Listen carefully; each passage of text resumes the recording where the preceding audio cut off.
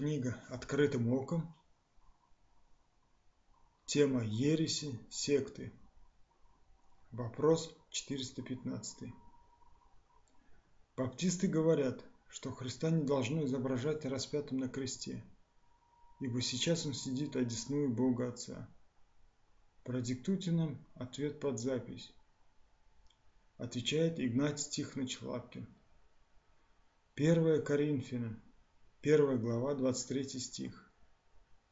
А мы проповедуем Христа распятого, для иудеев соблазн, а для еленов безумие.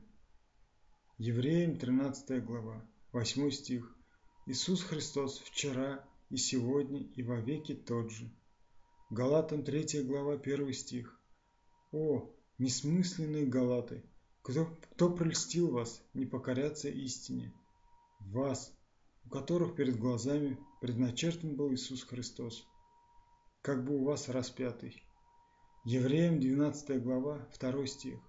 Взирая на начальника и совершителя веры Иисуса, который вместо предлежавшей ему радости претерпел крест, пренебрегший посрамление и воссел одесную престола Божия.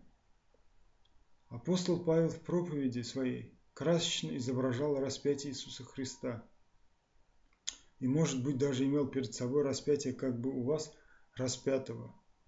Значит, в таком виде его лучше воспринимать, а иначе нельзя иметь изображения и собственные, более молодых лет и даже сегодняшние.